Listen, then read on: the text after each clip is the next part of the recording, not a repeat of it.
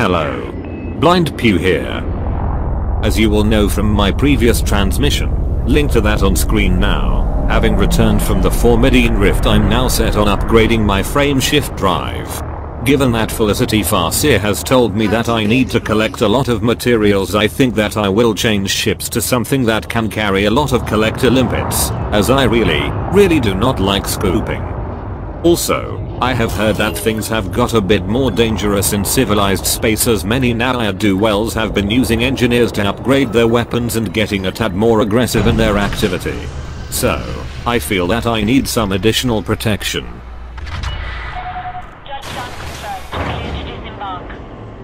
Report to station services for more information, Commander. For these reasons, I'm shifting to my Python for now. There we go. Ah yes, that feels better. And let's head out.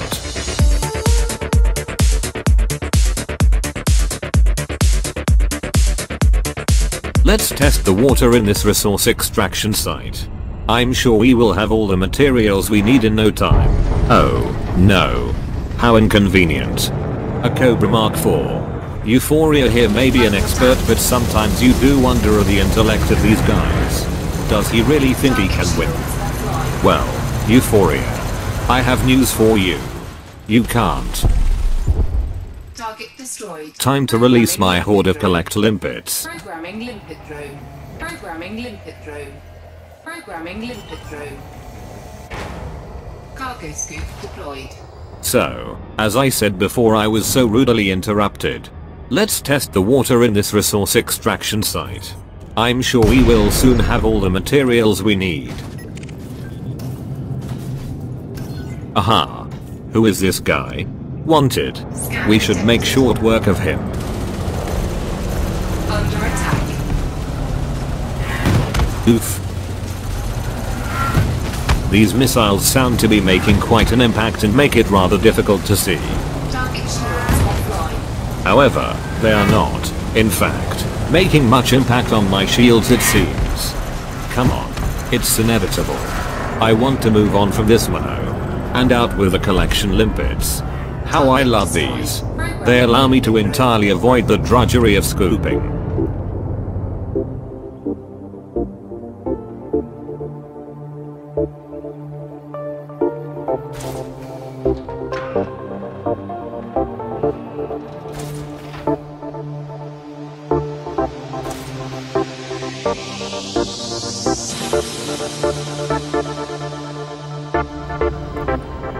Right now, I've heard that in this system they sell.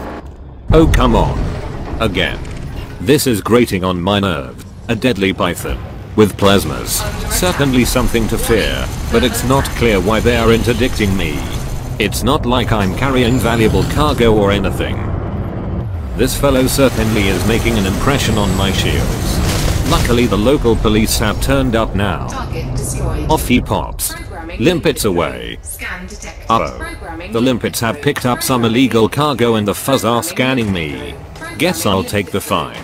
So, as I was saying before I was, once again, interrupted. I believe we can buy some of the energy grid assembly materials we need in this station close to where they are manufactured.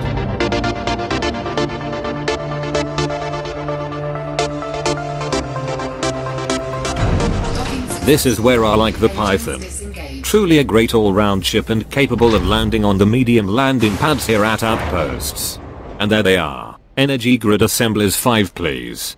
Problem is they are a commodity so we'll sit in cargo and will be lost if we get destroyed. Also, I have absolutely no doubt, they will attract yet more interdictions. Oh joy.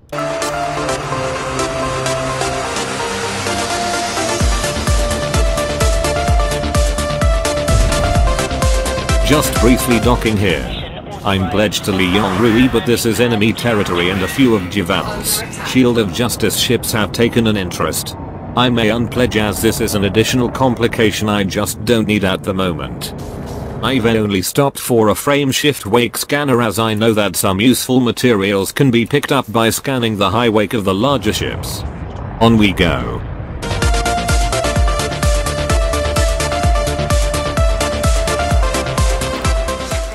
So, here I am on Nishi at 7B. Sources tell me it is a good source of yttrium which I do need.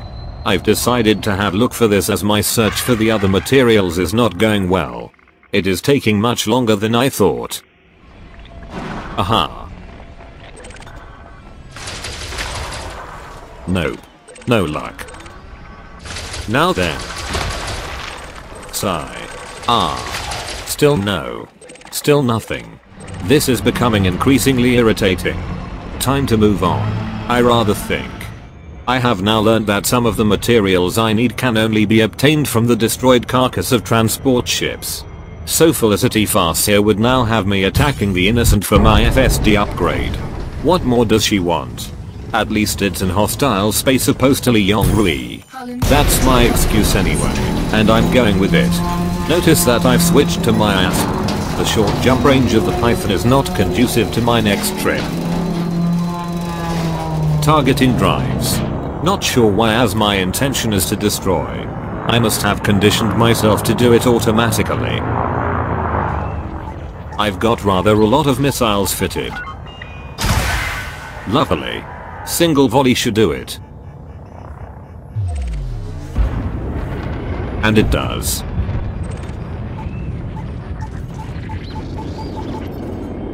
Limpets out. Programming limpet.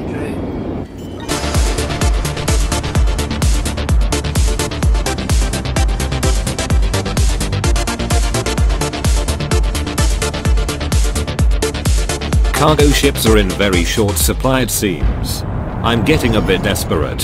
Should I? Shouldn't I? It's a big risk. Do it Pew.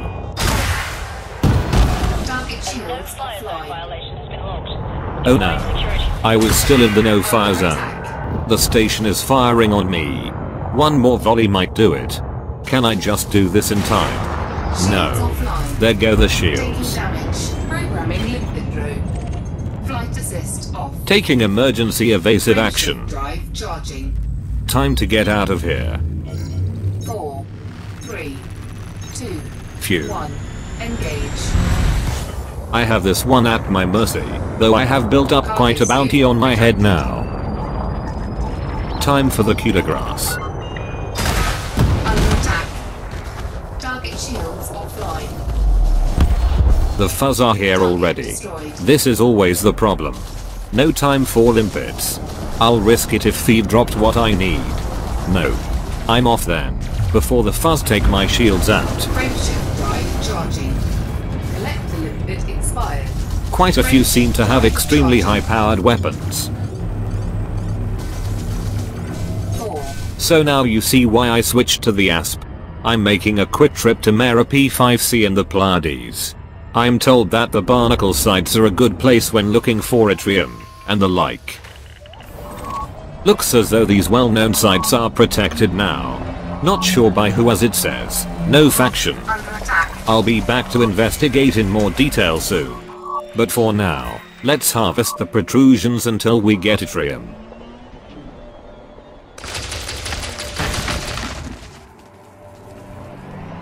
Nope, doesn't look like there was any there. It's getting a bit busy here now. Looks like I was not the only one with this idea. A Commander Davos Seaworth has just arrived with no doubt a similar activity in mind. And now Commander Mr. Morris. Thanks for the chat and useful information Commander Mr. Morris.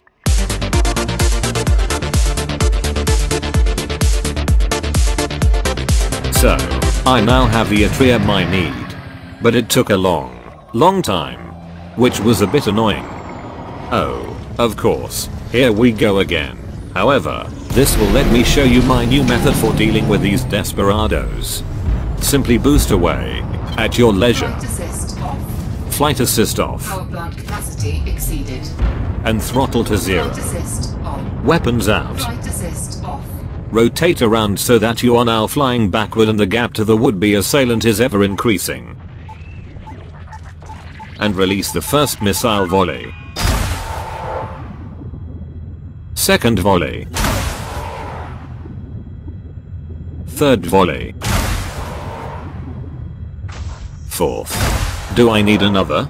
Oh, alright then. Target destroyed. And there he goes. Flight assist on. And off we go. Oh, has he dropped anything of interest? Nope can't be bothered. Onward. As we now have all we need.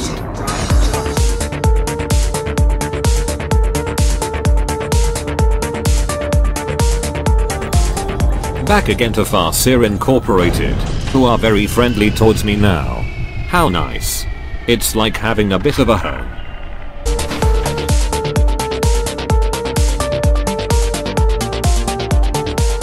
So my jump range is currently 31.4 light years with current fittings.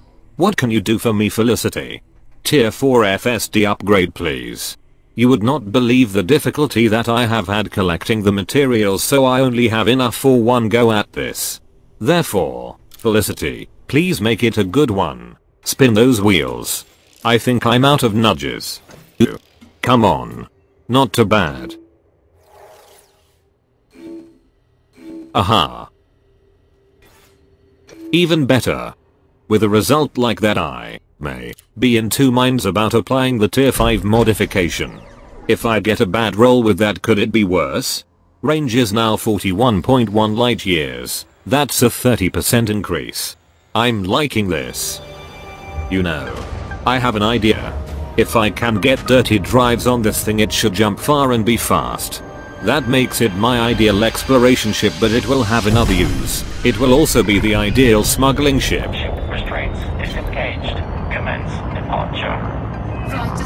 I therefore need to focus on the materials for dirty drives now. Landing Sigh.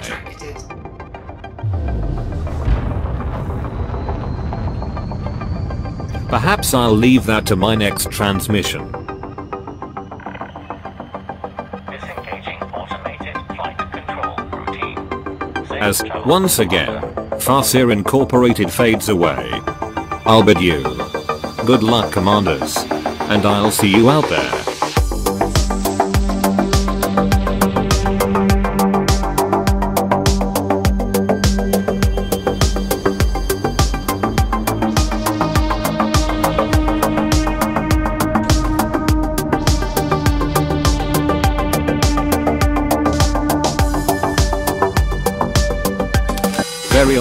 Are only two things that my scanner is picking up in the crash site. One is the cargo racks, but the other is these yellow crates. And even more strangely only the yellow crates, not these red ones.